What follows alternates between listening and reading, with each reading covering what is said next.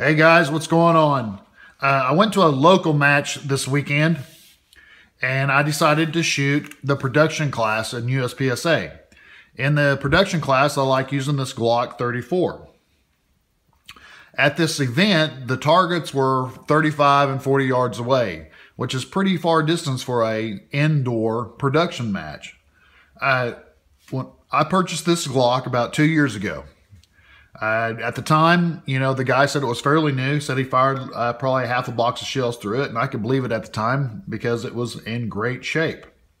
He also said he, he changed the sights out uh, to these Dawson fiber optic sights. Now, I don't know if they are the Dawson fiber optic sights, but they look very similar to the Dawson fiber optic sights, so I can only say that he was probably correct. That's what he changed them to. Since that time, I've taken this gun out and I've used it in three gun matches and I've shot it just, you know, playing around here at the house and, you know, a couple local matches, but not too extensively, but I've shot it quite a bit. Uh, if you all will go back and watch the Glock video on there, you know, just that one video alone, I think we went through 250 rounds, 300 rounds. So that's been shot quite a bit. Uh, but in all the shooting, I've always noticed that it's shot high. You know, over here at the house, I was getting consistently, you know, one inch high at 10 yards. But when I went to this local match, I figured, well, it was no big deal shooting that. You know, I'll just aim a more of a six o'clock hold. Okay, but out there to those 35 and 40 yard distances, this thing was almost shooting, uh, you know, almost a foot high, you know, if not a complete foot high. So, you know, that kind of upset me. So when I came home, I thought, well, heck, I'm going to go ahead and change those sights out. So I ordered some new sights. Well, in the process of ordering these new sights, I also decided that I wanted to go ahead and try a new barrel.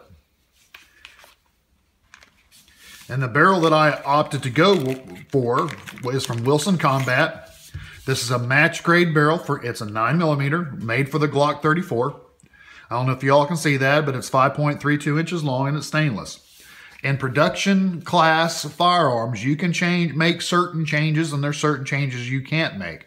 But you can change out the barrel in a production class gun as long as it is the same diameter and the same barrel. You know, you can't go from a 40 to 9 barrel and do it, but you, as long as it's the same caliber, you can change them out.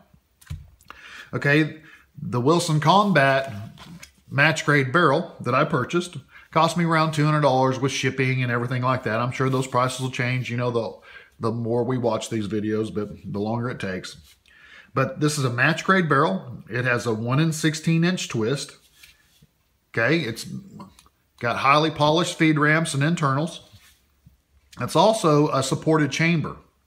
You know, on the on the Glock barrels, they're a 9.84 twist and they have hexagonal rifling, and they're not recommended to shoot lead bullets through them. But with this Wilson barrel, you can shoot whatever bullets that you would like to shoot through it, from uh, full metal jackets to the lead. The Glock barrels, you know, do not have a supported chamber. Uh, so therefore, you can get some bulge on your case. You know, makes it. Some people say that makes it diff more difficult to reload. I haven't found any problem with that, but so be it but it comes with a, a, this Wilson barrel comes with a supported chamber. Okay, it's made out of a uh, 416 stainless, which is a real good, you know, long-lasting stainless steel. It's been heat treated for maximum life.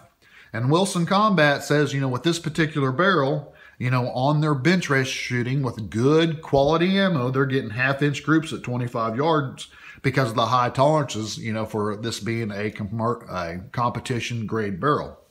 You know, on the Glock barrels, they're made for, you know, um, military use, police use.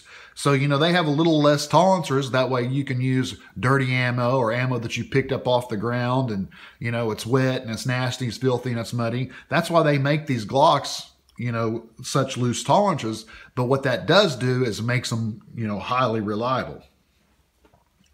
All right, so to change out the barrel, you know, they said that on the package, if we read the package here, it said it might require some minor gunsmithing. Well, we're to go ahead and take apart this Glock. If I can do it on camera here. Okay. Pretty simple take apart. It wanted to be kind of a pain in the butt there because it's on camera. But you can see that, you know, the barrels are very similar. You know, there's, there's hardly any difference in them at all that you can see, you know, physically. But this is a considered a match grade barrel. This is a, has looser tolerances. Okay, when I bought this barrel, it just slid right in. You know, it didn't require any modifications at all, which is awesome. It's great when things you buy just work. Okay, slide it right onto the firearm. Oop. I'm having problems here trying to do this in front of the camera. Okay, so you can see it all goes together, fits fine. Um, it worked great. You know, the little bit of trials that I have done with it, it shot excellent. It was very reliable. Looks good in the gun. You know, it just and it did some great groups. You know, if it wasn't for my me pulling the pulling the shot, they would all been touching. It it did a fine job with my reloads. All right, guys. Well, there's a video on the Wilson Combat barrel. Go check out Wilson Combat if you think you need a new barrel for your Glock. All right, guys, appreciate you watching. Thanks. Okay, we got the new barrel inside the Glock. This is the Wilson Combat barrel. We're going to test it out. Okay, here we go. We're going to do our first test shots with the new barrel.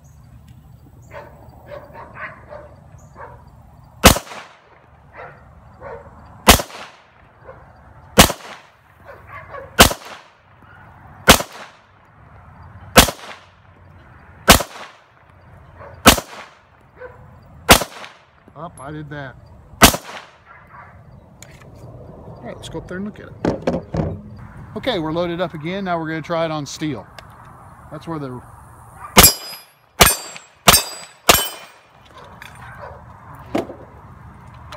the rest of the first mag.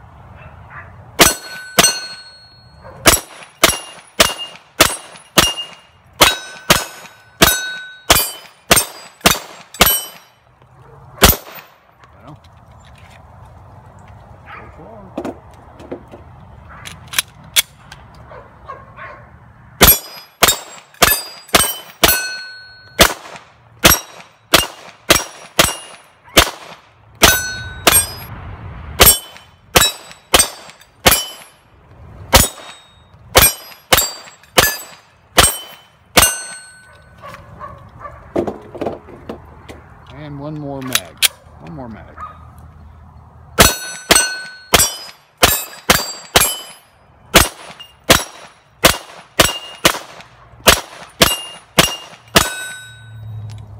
Wow. New barrel seems to be working great. I think I'm gonna like it. It definitely made it where it shot more on target. Uh, with the Glock barrel with these sights on here, it shot way high, especially the farther distance you got out. Uh, but right here, I'm almost aiming dead on and they're right on. So